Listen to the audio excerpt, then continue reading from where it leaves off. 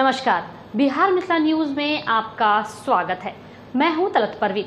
आजकल धार्मिक संस्थाओं के द्वारा महायज्ञ, रुद्र अभिषेक का आयोजन बड़े पैमाने पर किया जा रहा है, ताकि इस बिहार को गर्मी से निजात मिल सके और शीघ्र मानसून से किसानों को लाभ हो सके।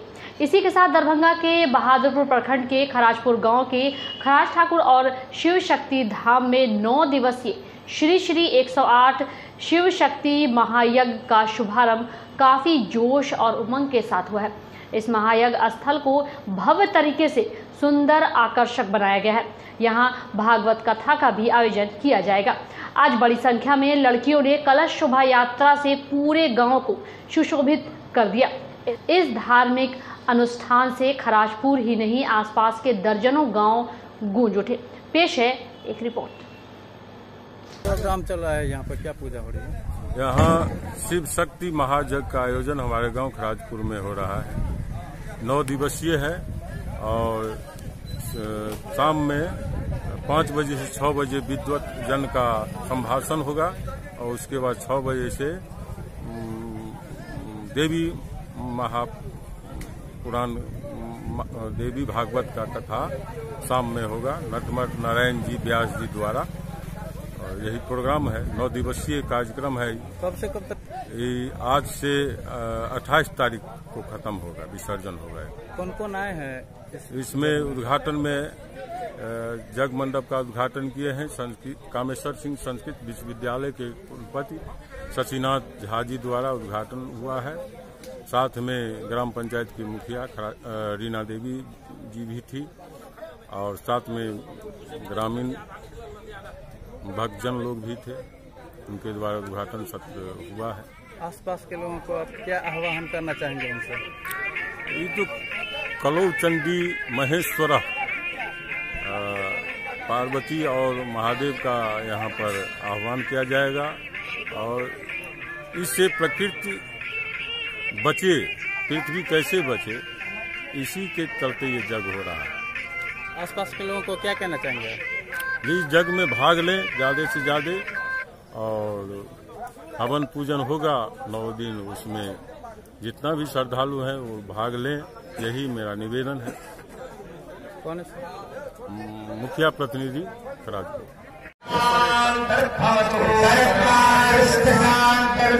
इस यज्ञ में आए हैं इसकी कुछ भी विशेषता बतलाइए। एहिठाम शिव शक्ति यज्ञ भ रहा है बड़ पैघ कार्य भ रहा है।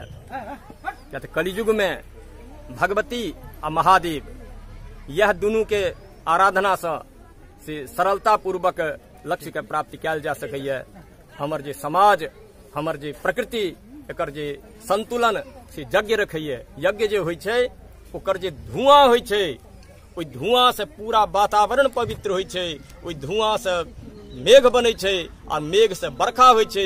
बरखा से अन्न आदि उत्पन्न होइ छै, आ लोक कल्याण छै एकर। पूरा प्रकृति जे छै, तकरा सुव्यवस्थित करै लए, समाजके सुव्यवस्थित करै लए यज्ञके आवश्यकता छै, आ जे एहिठाम यज्ञ भऽ रहल है महान महान विद्वान सबके एकत्रित कयल गेल और ओ विद्वान के द्वारा जे हैत यज्ञ, ओ तऽ परम सफल हैत, आ एहि प्रकारके आयोजन भऽ रहल है बड़ पुण्यके काज भऽ रहल है बड़ महत्वके काज भऽ रहल है सांस्कृतिक कार्यक्रम एकरा कहू धार्मिक काज कहू आ सामाजिक काज कहू सब प्रकार प्रकारके एहिसँ सफलता अछि। तऽ एहि यज्ञके सफलता कामना करै छी आ ज़रूर ई सफल है अपन पर। हम कामेश्वर सिंह दरभंगा संस्कृत विश्वविद्यालय दरभंगामे छै ओकर हम कुलपति छी और एहिठाम आयल छलहुँ उद्घाटन करै लए हमरा बजौलनि ताहि वास्ते हम बहुत कृतज्ञ छी।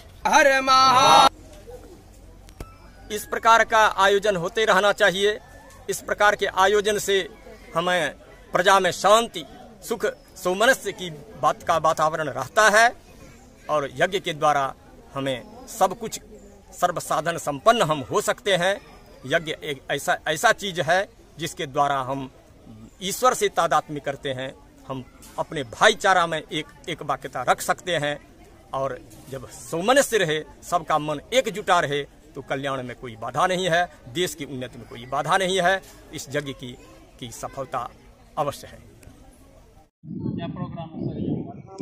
यहाँ शिव शक्ति यज्ञ का प्रारंभ हुआ है, राजपुर ग्रामवासियों के द्वारा।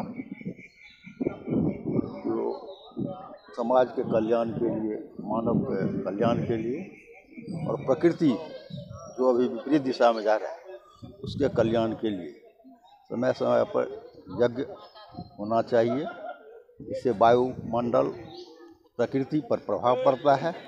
जिससे कि हमारा प्राकृतिक जो अभी हम लोग देख रहे हैं कि ग्लोबल वार्मिंग के चलते दूषित हो रहा है। अगर इस तरह का, इस तरह का अगर कार्यक्रम किया जाए, जैसे पूर्व में हमारे ऋषियों मुनियों के द्वारा किया जाता था तो निश्चित रूप से हमारा समाज, हमारा देश समृद्धि होगा, मानव कल्याण के लिए होगी, और यज्ञ होगा तो स्वाभाविक है कि अच्छी वर्षा होगी क्योंकि इसका जो वाष्प है, धुआँ है, होम जिससे हम लोग करते हैं, वो सभी लकड़ी से उससे एक जो प्रकृति में वातावरण बनता है, उसका जो वर्षा होता है, वो अमृत का फल देता है जिससे हम अन्न उपजाते हैं और जिससे हम परिवार में खुशहाली, समाज में खुशहाली आता है।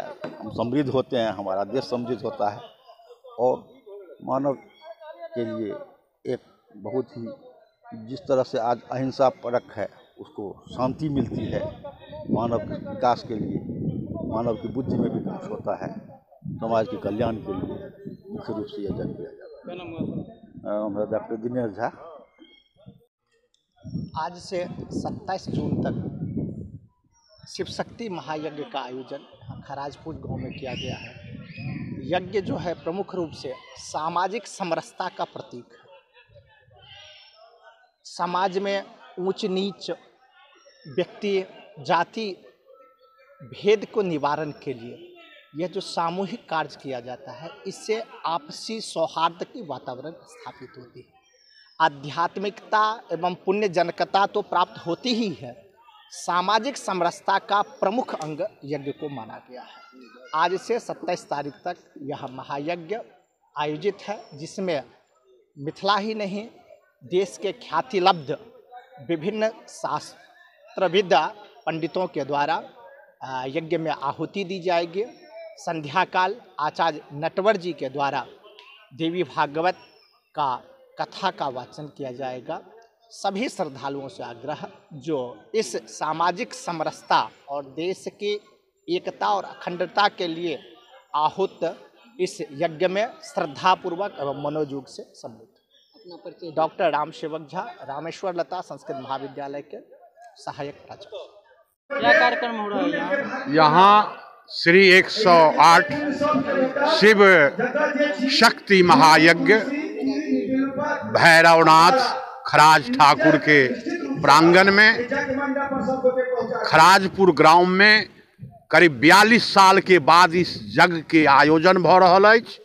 ई पूरा खराजपुर समाज अपन तन मन धन के साथ एहि योग्य ई यज्ञ कराबऽ के लेल तत्पर अइ खड़ा अइ और ई मिथिला के नगरी में जतेक लोग छथि हुनका हम हार्दिक अभिनंदन करै छियनि स्वागत करै छियनि। पूछियो कोई प्रश्न?